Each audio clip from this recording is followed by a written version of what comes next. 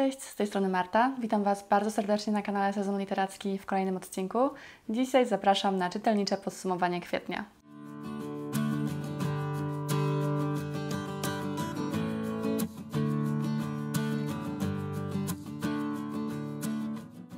Kwietniu przeczytałam sześć książek i wśród tych książek znalazły się dwie książki bardzo popularnych autorek, a jedna z tych książek jest tak znana, że mam wrażenie, że już każdy poza mną ją czytał. Przeczytałam również dwie książki polskich autorów, w tym jedna z tych książek to jest właśnie ta króciutka książka, ponieważ jest to książka dla dzieci, a poza tym trochę nowości, także nie ma co przedłużać, zaczynamy. Zacznę może od absolutnie najbardziej znanej książki w tym moim kwietniowym stosie, a jest to książka Dony Tart, Tajemna Historia.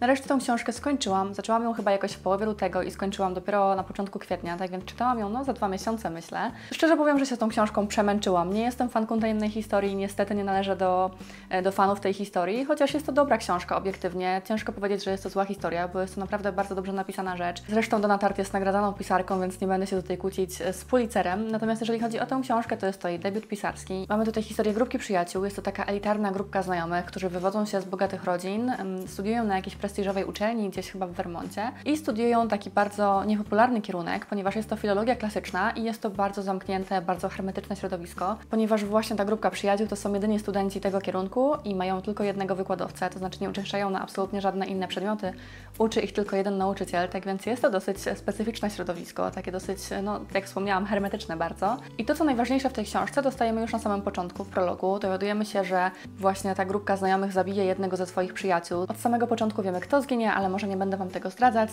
E, no i właśnie takim głównym motywem tej książki jest motyw zbrodni i kary, a właściwie to, czy można popełnić zbrodnię, nie ponosząc żadnej odpowiedzialności, żadnej kary właśnie, również takiej moralnej. Ja o tej książce mówiłam trochę na moim Instagramie, także być może już słyszeliście moją opinię. Natomiast, no tak jak wspomniałam wtedy, uważam, że pierwsza połowa tej książki jest koszmarnie przegadana, jest taka bardzo przeintelektualizowana. Donna Tartt sama jest y, właśnie absolwentką filologii klasycznej i wszystkie takie informacje, które zdobywa się na tych studiach, upchała w pierwszej połowie tej książki. Jest tutaj masa odniesień właśnie do kultury antycznej. To może być bardzo ciekawe, jeżeli się te powiązania zna. Natomiast dla mnie, dla czytelnika, który nie ma o tym zbyt dużego pojęcia, poza tym, czego uczymy się w szkole, no to było to straszliwie takie nużące, takie właśnie przegadane. Uważam, że można było to skondensować i ta historia zyskałaby, gdyby była trochę krótsza. Ona ma 600 stron, więc może nie jest aż tak straszliwie długa, ale mimo wszystko uważam, że jest przegadana i że gdyby tą historię skondensować, to tylko by zyskała na tym. Ale to jest oczywiście moje zdanie, z którym nie musicie się zgadzać. Jeżeli chodzi o samych bohaterów, to dla mnie oni są tacy trochę płascy, to znaczy my wiemy, że oni są jacyś szalenie inteligentni, że studiują tą filologię klasyczną, ale właściwie nic w książce na to nie wskazuje, poza takim naprowadzeniem przez narratora jednego z bohaterów, który odróżnia się właśnie od całej reszty, ponieważ on nie pochodzi z takiej bogatej rodziny, jest na tych studiach na stypendium i trafia trochę przypadkiem do tej grupy. I właśnie to jego oczami obserwujemy całą tą historię, więc ta narracja jest tutaj też taka bardzo subiektywna, ona jest przefiltrowana wyłącznie przez głównego bohatera, przez Richarda, który przekazuje czytelnikowi tylko to, co sam widzi, więc ta perspektywa tutaj jest taka bardzo ograniczona. No i właśnie on jest tym narratorem i takim powiedziałabym najbardziej neutralnym bohaterem. Natomiast cała reszta, no to jest takie towarzystwo, któremu wydaje się, że, że dzięki pieniądzom mogą zrobić w życiu wszystko i właśnie, że mogą dokonać zbrodni i nie zostać za to ukarani. I to jest trochę taki klimat jak z filmu The Riot Club, jeżeli go kiedyś oglądaliście. Tam mieliśmy również grupkę studentów Oxfordu, którzy mieli taki swój klub i też właśnie im się wydawało, że, no, że są panami i władcami wszechświata, dlatego że urodzili się w takiej, a nie innej rodzinie. I tutaj mamy bardzo podobne klimaty. I kiedy dochodzi do tego morderstwa, okazuje się, że nie do końca da się pogodzić gdzieś tam wyrzuty sumienia, że nie da się tych wyrzutów sumienia zagłuszyć właśnie pochodzeniem i pieniędzmi. No i to było ciekawe. To muszę przyznać, że było naprawdę bardzo dobre. I ta druga połowa książki była o wiele lepsza niż pierwsza. Właśnie ta połowa, kiedy to morderstwo już się dokonało i kiedy czytelnik miał okazję zobaczyć, jak właśnie ci bohaterowie radzą albo nie radzą sobie z tym brzemieniem, które teraz muszą dźwigać, jak to na nich wpływa, jak to rozbija całą grupę tak naprawdę. I tutaj taką najciekawszą postacią według mnie był Henry, który e, na początku wydawał się takim mózgiem operacji, takim wiecie, głównym strategiem, który planował, zrobimy to, to i to, tutaj zatrzymy ślady, tutaj będziemy mieć alibi i tak dalej. Wiecie, on to wszystko miał zaplanowane, on był taki rozważny, planował wszystko tak z zimną krwią, ale okazuje się, że właśnie ta maska, taka, takiego twardziela, ta maska kiedyś no, musi pęknąć. Nie da się chyba mieć takiej odpowiedzialności i to wszystko wytrzymać. Także to się kończy w taki dosyć spektakularny sposób wszystko. Także nie jest to zła historia i ona naprawdę może być taka bardzo ciekawa pod kątem analizowania do jakichś, wiecie, klubów dyskusyjnych, czy właśnie gdzieś do omawiania na studiach literackich. Myślę, że to jest bardzo ciekawy przypadek i naprawdę sporo można z tej książki wycisnąć. Natomiast jeżeli się czyta tak po prostu, jako zwykły czytelnik, bez takiego podejścia analitycznego, no to ja uważam, że ona jest przegadana. I ja nie do końca jestem zachwycona tą książką. Cieszyłabym się bardziej i bardziej by mi się podobała, gdyby ona była krótsza.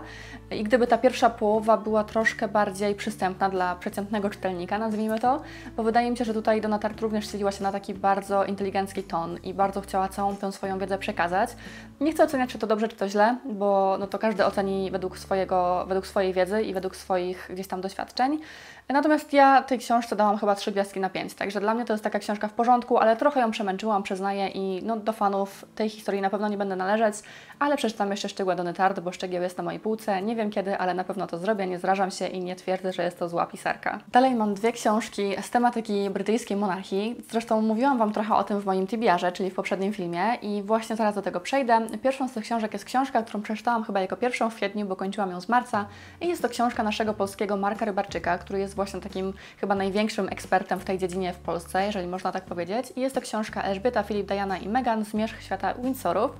I to jest książka, która opisuje losy, takie najnowsze losy właśnie brytyjskiej rodziny królewskiej, to znaczy od początków panowania królowej Elżbiety i skupia się wyłącznie na skandalach. Także jeżeli sięgacie po tę książkę, to nastawcie się na to, że tutaj właśnie mamy głównie te takie skandaliczne e, fragmenty tej historii. To znaczy nie jest to kompletna historia, tylko właśnie skupiona na tych takich najbardziej kontrowersyjnych momentach.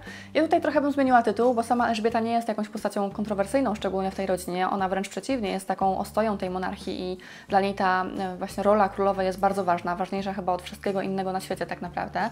Także ta jej służba dla narodu jest godna podziwu. Natomiast już jej małżonek, świętej pamięci już książę Filip, rzeczywiście był postacią no, dosyć kontrowersyjną i myślę, że przy okazji jego śmierci mogliśmy się dowiedzieć wiele smaczków, które być może kiedyś tam e, nie były nam koniecznie znane, bo jednak zaczęło się sporo o tej rodzinie mówić i jeżeli ktoś się tym nie interesował, to być może tego nie wiedział. Natomiast książę Filip rzeczywiście, może nie on osobiście, ale jego rodzina miała powiązania z nazistami. Krążą też plotki, że w pierwszych latach małżeństwa z królową Elżbietą notorycznie ją zdradzał. Są to niepotwierdzone informacje, ale jednak był widziany gdzieś tam z kimś tam, także no można domniemać, że takie sytuacje miały miejsce. No i sporo właśnie tej książki poświęconych jest księciu Filipowi właśnie. Myślę, że tak z pierwsza połowa tej książki to jest właśnie małżeństwo Elżbiety i Filipa, dość nieszczęśliwe zresztą przedstawione w tej książce. Mamy oczywiście również chyba największy skandal w tej historii, to znaczy małżeństwo księcia Karola z księżną Dianą i tragiczną śmierć księżnej Diany, co do niej doprowadziło, jak wyglądały te ich wzajemne relacje. Mamy również oczywiście Harego i Meghan, czyli najnowszych skandalistów, można chyba tak powiedzieć, w brytyjskiej rodzinie królewskiej, to znaczy tę dwójkę, która odłączyła się od rodziny i wyprowadziła do Stanów Zjednoczonych, by tam wieść niezależne życie. No jest to bardzo ciekawa książka i przyznam szczerze, że gdy ja ją czytałam, to naprawdę bardzo mi się podobała. Oceniłam ją bardzo wysoko, bo na 4 gwiazdki na 5, także jest to dosyć dobra ocena i naprawdę się niesamowicie wciągnęłam. Są tutaj też no, piękne zdjęcia, jak w wielu tego typu książkach. Także zdjęć tutaj nie zabraknie, wszystko co jest opisywane jest później opatrzone fotografiami. Także dla mnie była to naprawdę fajna książka, ale okazuje się, że jak chyba wszystkie książki z tej tematyki, nie jest ona pozbawiona błędów. Obecnie czyta tę książkę moja przyjaciółka Agnieszka, o której Wam już wielokrotnie wspominałam i podsyłała mi już z samego początku mnóstwo takich błędów, które ja gdzieś tam przeoczyłam rzeczywiście, e, dlatego że no ja nie jestem takim znawcą jak ona i gdzieś tam mi to rzeczywiście umknęło. Natomiast faktycznie no tutaj też te błędy są i to też niektóre takie, e, za jakie czepiałam się kolejnej książki, o której Wam za chwilę opowiem. Także no jak widać nie ma chyba książki idealnej, którą można z czystym sumieniem polecić w tym temacie, co zresztą Agnieszka wielokrotnie już mi mówiła, że ona nie, nie potrafi polecić książki z tego tematu, bo w każdej są jakieś błędy, mniejsze lub większe, ale jednak w każdej te błędy są, także no mimo, że mi się ta książka podobała, to teraz jak powiedziałam mi o tych błędach, to też ciężko mi jest Wam z czystym sumieniem ją polecić, chociaż rzeczywiście czytało się fajnie i sporo rzeczy się dowiedziałam jako powiedzmy nowa osoba w tym temacie. A książką, o której już napomknęłam i która najbardziej zirytowała mnie w kwietniu, to książka Bitwa Braci Roberta Lacey. Jest to książka, o której ja Wam wspomniałam w zapowiedziach na drugi kwartał 2021 roku, ponieważ kiedy zobaczyłam tą książkę, byłam ją naprawdę mega zajarana, bo autor jest e, historykiem, e, oficjalnym biografem rodziny królewskiej, ale również e, takim konsultantem historycznym serialu The Crown. Tak więc jak zobaczyłam wszystkie takie przymiotniki, którym określany jest ten autor, to pomyślałam, że no jest to facet, który zdecydowanie zna się na rzeczy i ta książka będzie na pewno świetna. No i sięgając po książkę o tytule Bitwa Braci, spodziewałam się przede wszystkim relacji Harego i Williama. 봐. No, myślę, że chyba każdy by się tego spodziewał, patrząc na tytuł tej książki. Natomiast absolutnie jest to książka nie o tym, e, to znaczy jest to książka bardzo podobna zresztą do tej książki Marka Rybarczyka właśnie, to znaczy też taka skupiająca się na najnowszej historii brytyjskiej monarchii i też na skandalach. To znaczy bardzo duża część tej książki, też chyba właśnie 50% z tego co pamiętam, bo czytałam tą książkę na czytniku, więc miałam te procenty gdzieś tam zawsze e, na oku. To właśnie historia Karola i Diany. Tak więc e, całe, cała połowa tej książki to jest historia Karola i Diany, nie ma nic wspólnego z Williamem i Harrym. To znaczy, wiecie, ja rozumiem, że e, do przedstawienia relacji tych dwóch braci ważne jest przedstawienie relacji ich rodziców, ważne jest przedstawienie tego, w jakich środowiskach się wychowywali, jak byli postrzegani. I to, że Harry od zawsze był tym zapasowym, to znaczy, wiecie, traktowany był powiedzmy gorzej niż jego brat, który no, pewnego dnia zostanie królem Wielkiej Brytanii, to oczywiście jest wszystko ważne, natomiast czy na tyle ważne, żeby poświęcać temu aż połowę książki? E, później kolejna połowa to są e, relacje Williama i Kate, to znaczy jak oni się poznali, ich, e, jak doszło do ich małżeństwa i tak dalej, i tak dalej. I dopiero sam koniec to jest relacja Harego i Meghan i tutaj siłą rzeczy zahaczamy o ten właśnie temat z okładki, to znaczy o bitwę braci, ponieważ no wiadomo, że mm, po ślubie Harego i Meghan i po tym odłączeniu się, po Mexicie słynnym, po tym odłączeniu się tej pary właśnie z rodziny królewskiej, te stosunki między Harrym a Williamem znacznie się ochłodziły. Także dopiero gdzieś tam na tych ostatnich stronach zahaczamy tak naprawdę o temat, który jest na okładce, więc dla mnie ta książka jest trochę takim, no powiedziałabym oszukaniem czytelnika, bo jednak zupełnie czegoś innego się spodziewałam sięgając po nią, a zupełnie co innego dostałam. Ale mało tego, no to właśnie w tej książce jest masa takich błędów, których, no kiedy pomyślimy, kim jest autor, nie powinno tam być. Ponieważ mamy tam takie na przykład śmieszne błędy, jak to, kiedy Meghan nazwana jest synową królowej, a królowa jej teściową. Ale są też znacznie takie poważniejsze, na przykład pomylona jest data najstarszego chyba wnuka królowej, Petera Philipsa, z tego co pamiętam. Nie wiem, czy teraz ja czegoś nie mylę, bo wiecie, ja jestem, tak jak wspomniałam, nowa w tym temacie, więc dopiero się uczę, no ale właśnie z czego ja się mam uczyć, skoro wszystkie książki, po które sięgam, zawierają takie błędy. No i właśnie tam jest ta data urodzenia Petera Philipsa pomylona, jest też na przykład księżniczka Anna, która nazwana jest księżną. No to są takie, wiecie, może drobne błędy, może niedrobne, ale jednak no, nie powinny się one tam znaleźć, szczególnie w książce pisanej przez historyka i przez osobę, która no, jest jednak ekspertem w tej dziedzinie. Tak więc mnie to bardzo irytowało, bo w pewnym momencie już ja przestałam skupiać się na treści tej książki, a zaczęłam tylko wypatrywać tych błędów, bo wiedziałam, że ich tam jest od groma. Mm, tak więc to bardzo zaburzyło mi odbiór tej książki i ja byłam bardzo na tę książkę zła, bardzo nią byłam poirytowana, ponieważ miałam co do niej duże oczekiwania i widzę, że dużo osób ją czyta i dużo osób się tą książką zachwyca i pomijając te wszystkie błędy i to, że ta książka nie daje nam tego, co obiecuje po tytule, to generalnie jest całkiem ciekawie napisana i jest warta przeczytania pod takim kątem właśnie zapoznania się z takimi podstawowymi informacjami na temat brytyjskiej monarchii. Natomiast no, ja się czuję oszukana osobiście jako czytelnik, ale e, teraz trochę łagodniej chyba spojrzę na tą książkę, ponieważ okazuje się, że ta książka Rybarczyka, która mi się spodobała, również ma takie błędy, więc ja jestem teraz trochę wkurzona po prostu, bo okazuje się, że rzeczywiście nie mam po jaką książkę sięgnąć, żeby zgłębić ten temat, bo w każdej z takich książek są błędy i ja po prostu potem takich błędów się nauczę i będę je gdzieś tam powielać, no bo sięgając po książkę jednak liczę na to, że jest to pewne i sprawdzone źródło, a tu się okazuje, że nie. Tak więc, no niestety, książka Bitwa Braci mnie bardzo rozczarowała. Nie mogę Wam jej polecić z czystym sumieniem, ale widzę, że dużo osób się nią zachwyca, także decyzję pozostawiam gdzieś tam Wam, ale miejcie na uwadze to, że tam jednak te błędy się wkradają. A teraz już całkowicie zmieniając temat, przejdźmy do książki tej najkrótszej, którą przeczytałam w tym miesiącu, znaczy już właściwie w zeszłym miesiącu. Jest to książka dla dzieci. Jest to Lolek Adama Wajraka. Ja tę książkę kupiłam od Zuzy, dziewczyny z biblioteki na Instagramie i e, bardzo chciałam tę książkę, bo w ogóle to jest historia adoptowanego pieska, to znaczy pieska, który został porzucony, który przeszedł dużo w swoim psim życiu. e, i został adoptowany właśnie przez Adama Wajraka. To jest prawdziwa historia, czy prawdziwa historia, wiecie. Te początki tego pieska są tutaj wymyślone, ponieważ wiadomo, że autor nie wie, co się z tym psem działo, zanim do niego trafił. Natomiast jest to tak wzruszająca historia, że ja przyrzekam, że przez 140, nawet nie 140, 100 parę stron tej książki, ja no myślę, że 100 przypłakałam, po prostu zaczęłam płakać chyba już w pierwszym rozdziale i płakałam w zasadzie do samego końca. Tak więc jest to mega wzruszająca historia. Jeżeli mm, porusza Was los zwierząt, jeżeli gdzieś tam jesteście wrażliwi właśnie na krzywdę wobec zwierząt, no to gwarantuję Wam, że jest to książka, przy której wypłaczecie sobie oczy. Ja właśnie tak zrobiłam, ale jest to cudowna historia, to znaczy ona się kończy w cudowny sposób i no, myślę, że dla dzieci to jest naprawdę niesamowita wartość pokazać dzieciom, jak, y, jak warto dbać o, o zwierzęta właśnie, jak warto kochać i szanować zwierzęta, nie tylko pieski, ale w ogóle e, i myślę, że dużo mogą się z tej książki nauczyć. Właśnie o tym, że, że psy czy inne zwierzęta również mają uczucia i że nie wolno ich krzywdzić. Także ja Wam tę książkę bardzo gorąco polecam, jeżeli to jest coś, co leży gdzieś tam w takiej Waszej Waszej wrażliwości i co Was interesuje, to naprawdę jest to świetna książeczka, a mówię Wam, że jest to dosłownie pół godziny czytania, bo tutaj jest te 100 parę stron, ale wiecie, tutaj no, tekstu na stronie to jest tyle, ogromna czcionka, dużo ilustracji,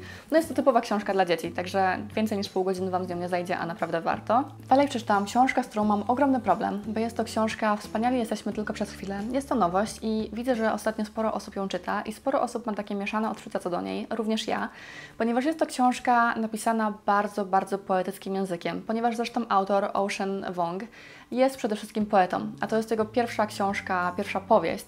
Natomiast on tutaj nie wyzbył się tych naleciałości właśnie poety i no, ten język jest bardzo poetycki, naprawdę. I mnie się przez ten język bardzo ciężko tą książkę czytało. Myślę, że tutaj kwestia tego, co lubicie. Jeżeli lubicie taki język, jeżeli lubicie na przykład bardzo poezję, to może to do Was bardzo mocno trafić. Według mnie to jest dosyć toporne i bardzo ciężko się to czyta. Te niektóre słowa są takie strasznie patetyczne, niektóre zdania, niektóre fragmenty są strasznie patetyczne, aż niepotrzebnie, bo ta historia sama w sobie jest naprawdę bardzo wzruszająca i bardzo piękna ponieważ mamy tutaj historię, zresztą po części autobiograficzną autora, który jest imigrantem z Wietnamu, mieszka obecnie w Stanach Zjednoczonych, natomiast jego rodzina pochodzi z Wietnamu, e, tak więc jest on Wietnamczykiem i e, tutaj historia dzieje się kilkanaście lat po wojnie w Wietnamie i ta trauma po wojnie przenosi się z pokolenia na pokolenie, więc mamy tutaj ten motyw. Mamy też motyw takiego niedopasowania się do społeczeństwa, ponieważ on ani do końca nie należy do Wietnamu, ani do końca nie należy do Stanów Zjednoczonych, to znaczy, wiecie, nie czuje się ani do końca Wietnamczykiem, ani do końca Amerykaninem. Tak więc mamy też tutaj sporo takich e, fragmentów dotyczących kryzysu tożsamości gdzieś tam. Oczywiście te trudy związane z imigracją, takie niedopasowanie, brak przynależności do konkretnego kraju ale również bardzo trudne relacje z matką, do której zresztą autor kieruje tę książkę. Jest to taki jeden wielki list do matki, która nie potrafi czytać po angielsku i e, tego listu nigdy nie przeczyta, ale właśnie dzięki temu autor tutaj całkowicie wyrzuca z siebie wszystko, co gdzieś tam leży mu na sercu, jakby nie ma takiego hamulca. Wie, że ta matka tego nie przeczyta, więc nic go nie blokuje i mówi wszystko, co myśli, co czuje, e, co czuł jako dziecko, a to dzieciństwo było naprawdę bardzo trudne, bo poza tym, że było naznaczone tą traumą wojenną, to również przemocą, ponieważ ta matka się nad nim gdzieś tam znęcała i to również było, wiecie, przenoszone, nad nią znęcał się mąż, więc ona później znęcała się nad synem. To jest taka, wiecie, spirala, która się wzajemnie nakręca.